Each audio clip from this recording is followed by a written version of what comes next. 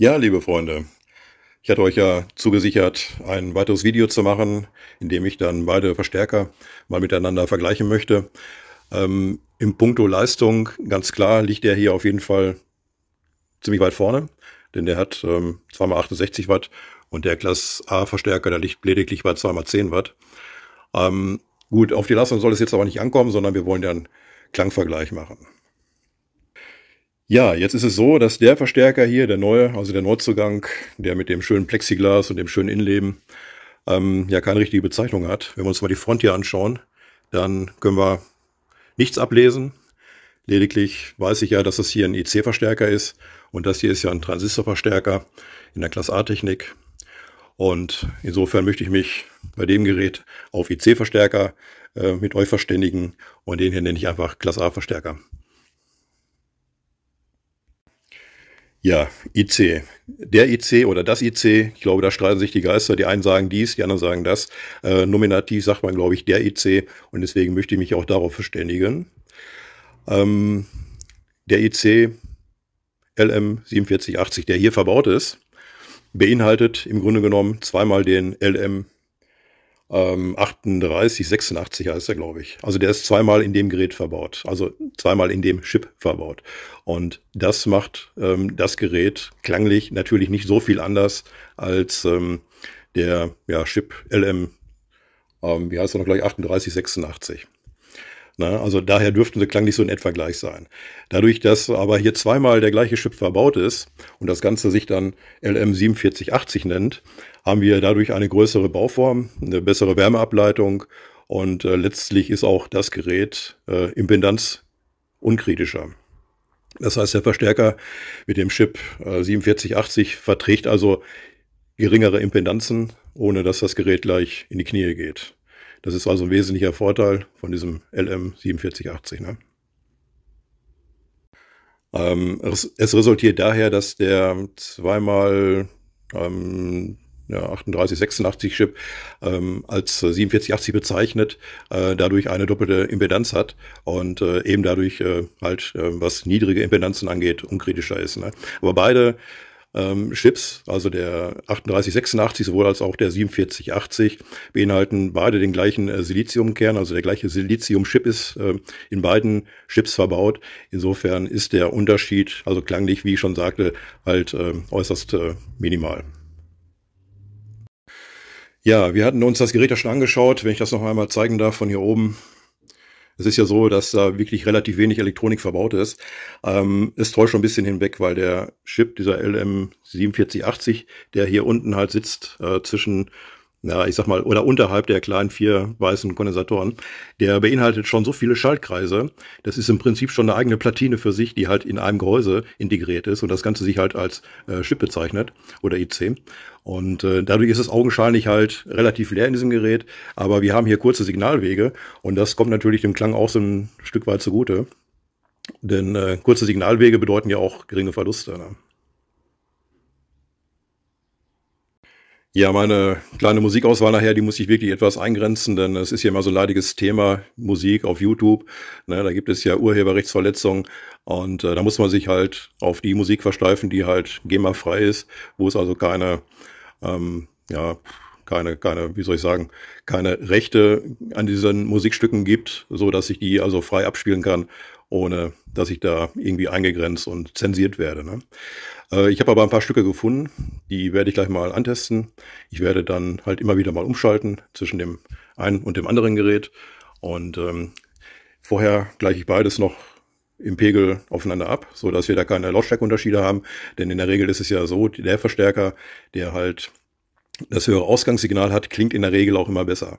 Deswegen müssen wir da schon wirklich Vorsicht walten lassen und äh, die Pegel beider Geräte penibel aufeinander abgleichen. Ich habe dafür ein äh, akustisches Messmikrofon.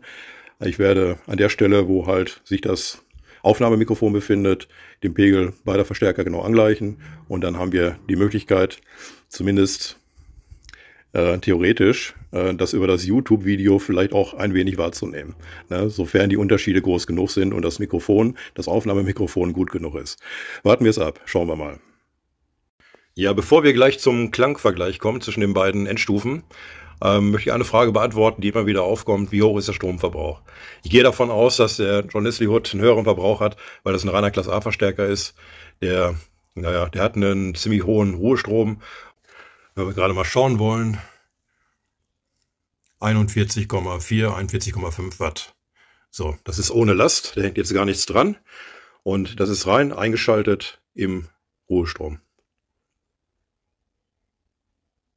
Gut, dann kommen wir jetzt zu dem IC-Verstärker. Das ist ja der audiophile Konkurrenz zu dem Class A-Verstärker, den ich gerade gemessen habe. Hier haben wir durch das Schaltungsprinzip AB natürlich einen geringeren Verbrauch, ganz klar. Der Ruhestrom, der liegt hier bei einem Verbrauch von 9,6, 9,7 Watt.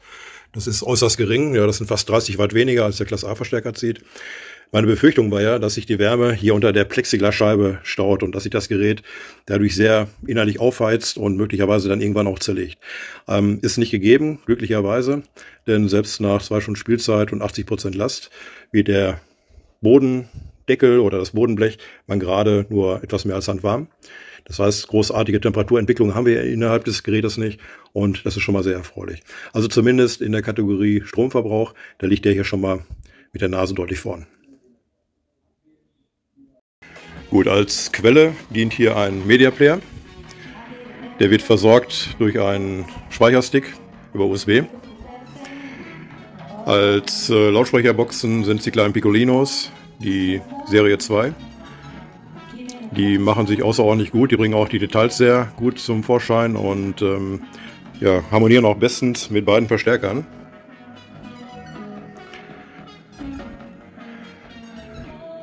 Deswegen soll das von mir gerade genannte das Equipment sein.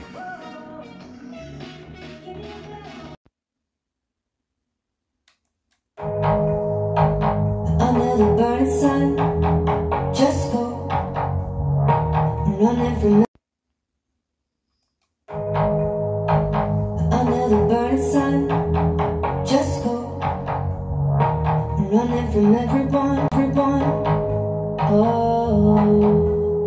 I think we are better now, my soul. You're never gonna get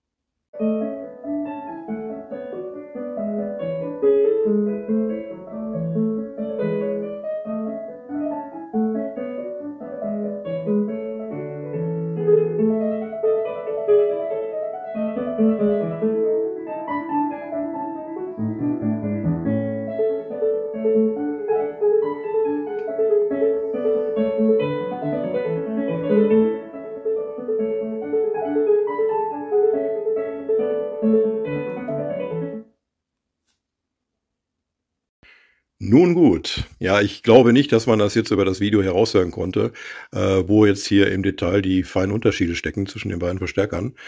Ähm, ich kann das hier direkt vor Ort natürlich etwas besser wahrnehmen und ähm, ja, meine Einschätzung ist ganz einfach, ähm, dass der Class A-Verstärker hier, dieser John Leslie Hood 1969, äh, sehr harmonisch klingt, der ist sehr spielfreudig, es macht richtig Spaß, ihm zuzuhören.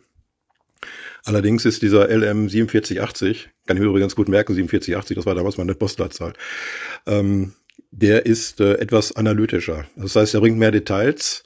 Ähm, harmonisch klingt er auch sehr. Allerdings kommt er vielleicht nicht ganz so an den Class A-Verstärker ran.